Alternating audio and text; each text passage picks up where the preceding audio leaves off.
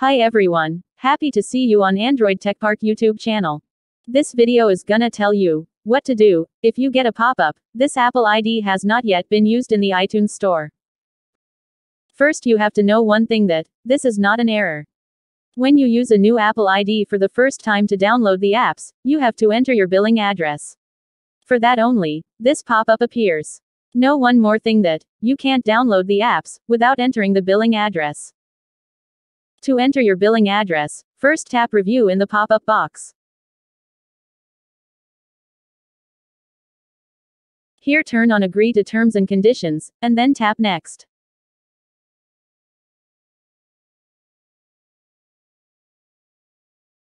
If you want to select your payment method, you can select, or else select none. Then scroll down to Billing Address section, and enter the required details. First enter your street name.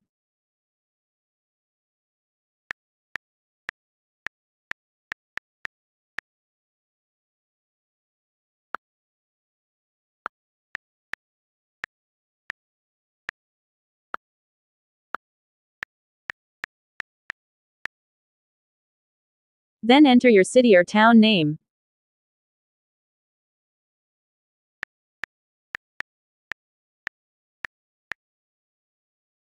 Then select your state.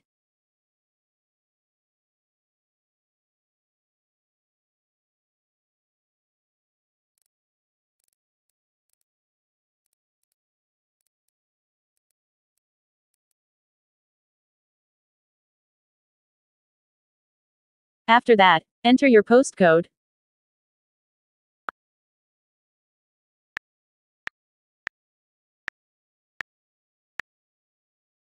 Finally, enter your phone number, and then click Next.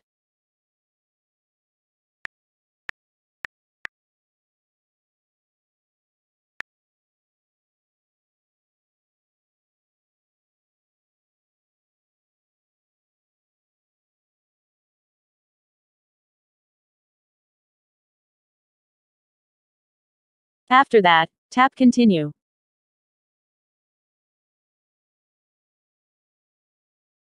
Now you can download the apps, without any problem.